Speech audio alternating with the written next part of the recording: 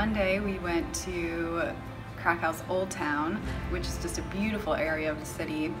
It was just amazing going through the streets and knowing that other saints had been through there as well, um, especially the three saints that we were following. We were so blessed that Sister Gaudia, um, with her friend Shimon from the Knights of Columbus, organized that we could tour the Archbishop's residence.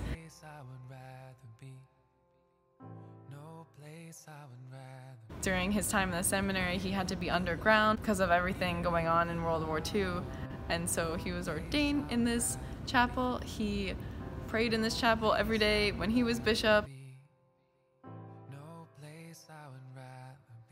He wrote all of these beautiful and incredible documents. He wrote in this chapel on his knees in front of the Blessed Sacrament. There was a beautiful relic of John Paul II in the chapel. At one point, where there was a room uh, filled with all these uh, great relics. It was probably, I think more than like 80s. so it was really cool to be in there. It was really nice to see.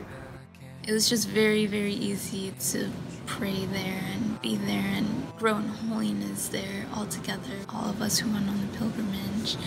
Another favorite part was going to, was it the library or the room where the seminarians got together and worked together?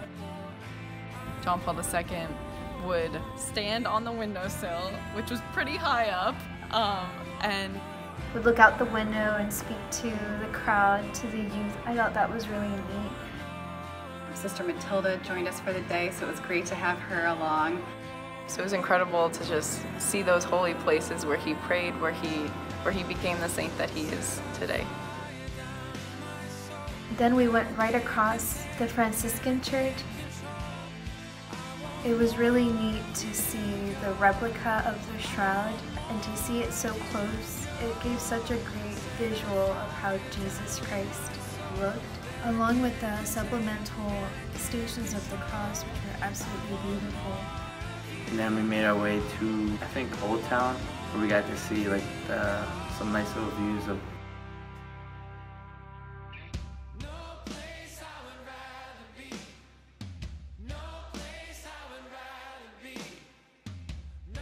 We went down and joined uh, the Mass at noon at the Dominican Church, which is really great.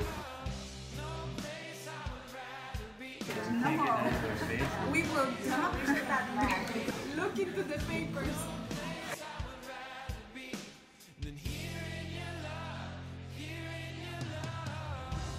We went to St. Mary's Basilica as well.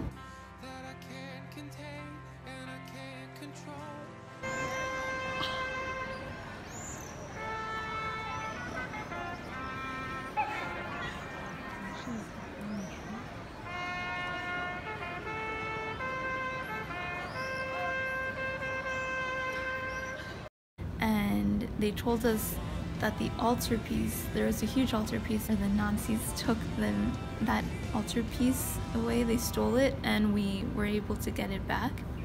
But that just shows how they need to take beauty away in order to take God away from the people. In a way, beauty and God, they go together because God is beautiful. He is beauty itself. They have a little side adoration chapel that we were able to pray the chaplet in both English and Polish, alternating at the hour of mercy. And it was just so easy to pray at the beautiful churches that we saw.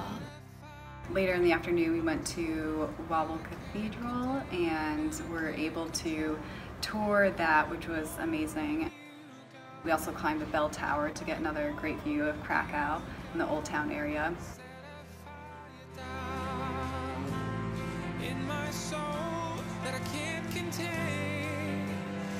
We saw St. Leonard's Crypt, where JP2 celebrated his first Mass. I guess no one ever thought that I guess uh, JP2 as a kid would be like celebrating his first Mass in this era that has so much history, especially Polish history. I guess that beginning like from him having his first Mass there just goes to show that he had like a mission, but just not like any ordinary mission. He was gonna be, he was gonna do something great. We made our way down to like the riverside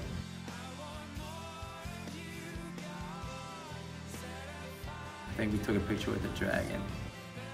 And then fire comes out. we found out. You could just see the beauty of Krakow and the holiness of the saints also mimic that. And I think that they really go together because of the beauty of the soul that reflects the beauty of country as well.